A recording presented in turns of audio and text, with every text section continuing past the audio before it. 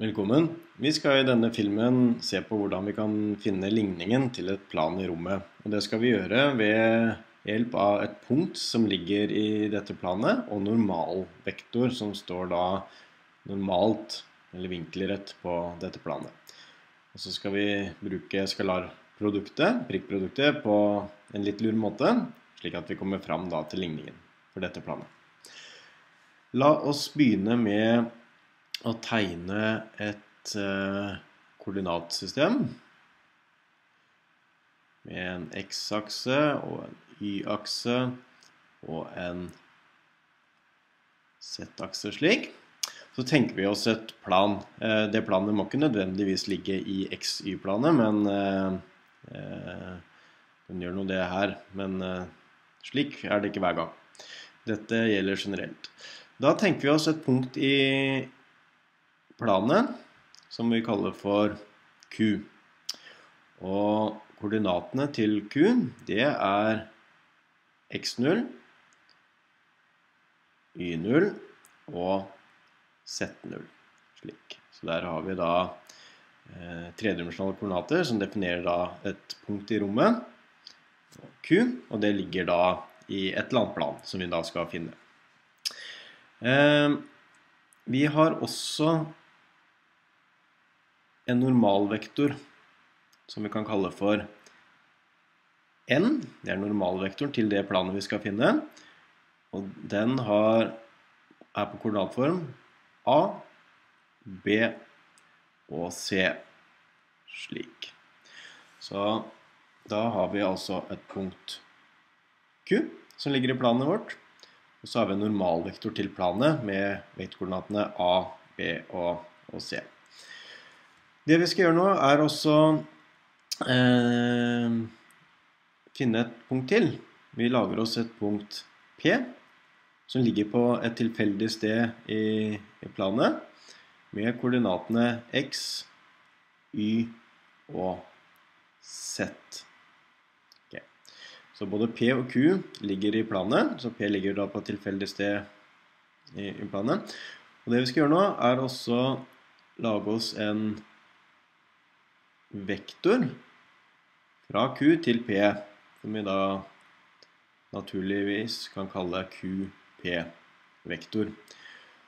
Og QP-vektor, siden den går fra ett punkt i planet til et annet punkt i planet, så er jo den parallell med, med planet.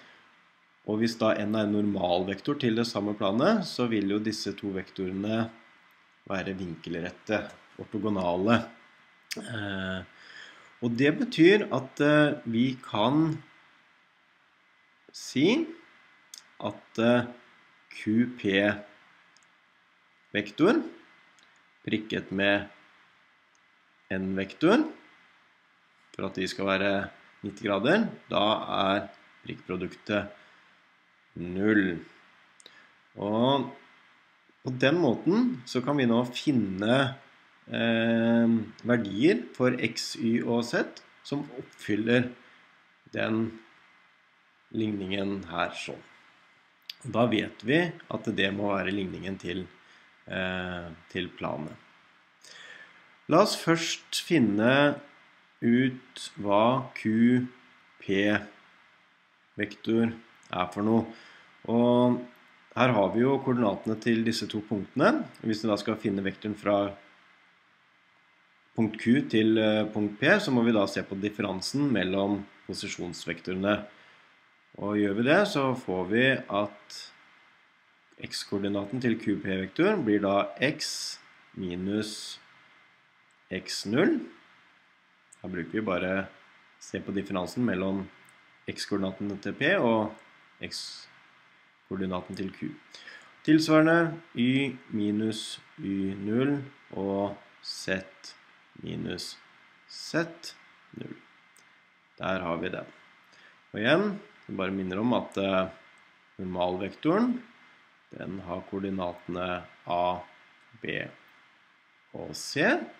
Og hvis vi da skal utføre prikkproduktet Q, P, vektor prikket med N-vektor, og så vil vi at dette her skal bli 0, da gjør vi det på følgende måte. Vi får da x minus x0, y minus y0, z minus z0, og det skal prikkes med a, b, c.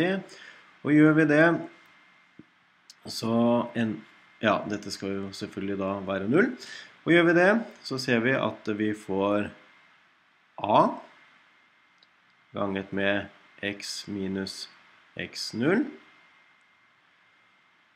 pluss b ganget med y minus y0 pluss c ganget med z minus z0 og dette skal da være lik, eh, være lik 0. Og dette her er da faktisk ligningen for et plan i rommet der hvor vi har gitt et punkt eh, Q med koordinater x0, y0 og z0 og en normalvektor med vektorkoordinater A, B og, og C. En normalvektor. Og da kan vi løse den ligningen der sånn. Um, kan forenkle litt, skal kjapt gjøre det. For eh, det vi kan gjøre, er å sette ut konstantleddet. Så altså hvis vi ganger ut A, B og C i alle ledd, kan ta kjapt å, å gjøre det, da får vi AX minus AX0 pluss by minus by0 pluss cz minus cz0 Ja, det er litt liten. cz0 det skal være lik 0. Og da ser vi at eh, C og Z0 B ganget med Y0 og A ganget med X0, det er jo da konstanter, så de trekker vi bare ned og kaller da for D, der D er lik minus AX0 pluss BY0 pluss CZ0. Gangetegn. Sånn. Der. Ja, da har vi ligningen for et plan som går gjennom punktet Q og har normalvektor N.